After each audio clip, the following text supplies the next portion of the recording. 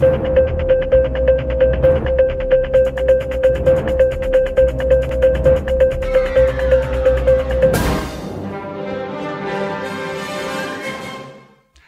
and good morning.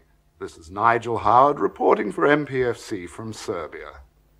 As the summer of 1993 draws to a close, the situation here, to put it as mildly as I can.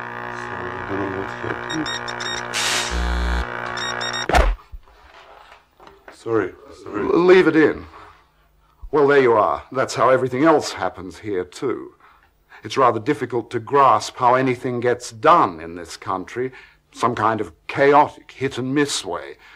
But get done they do.